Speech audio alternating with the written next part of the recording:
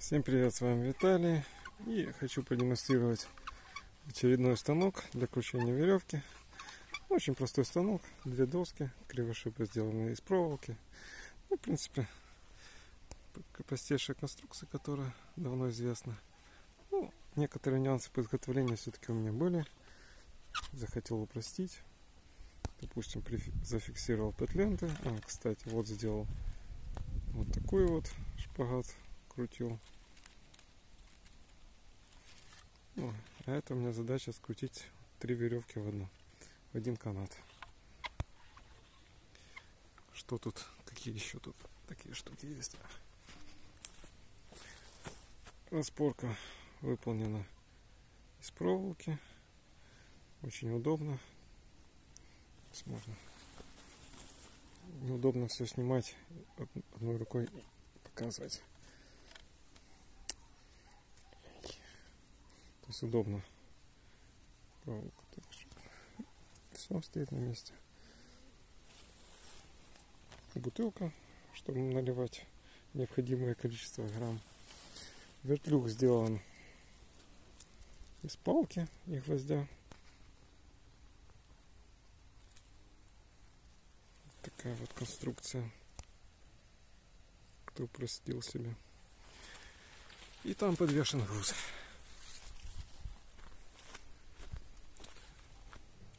Он подвешен, подвешена бутылка с водой и работает через блок. Получается, а блок выполнен. Это вот колечко от пластиковой бутылки для лучшего скольжения петленты.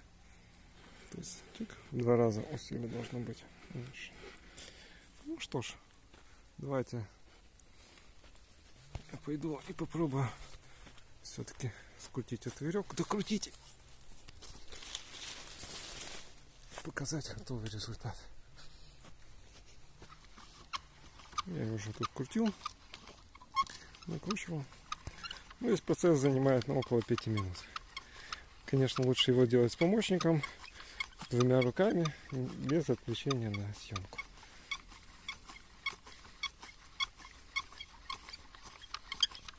Видно, что вот так хорошенько скрутилось. Ничего, крутим.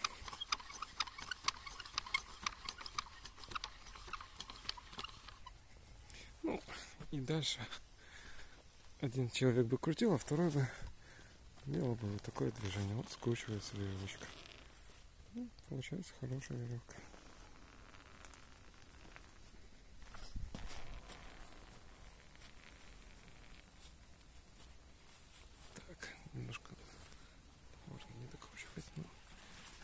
потихоньку так, здесь закрутить.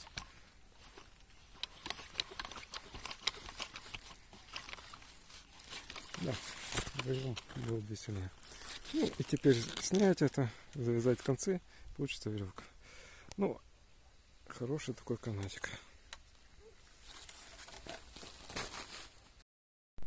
В итоге получилась вот такая вот веревка. Качество хорошее. Вот еще шпагат из петленты. Где-то метров 4.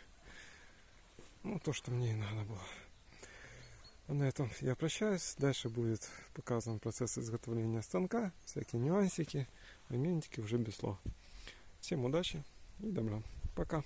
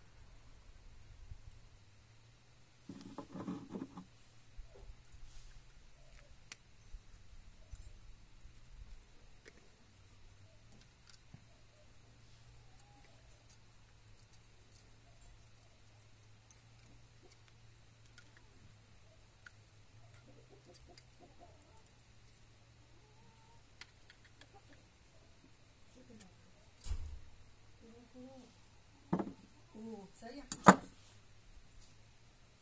Era uma besta, não sei o que é.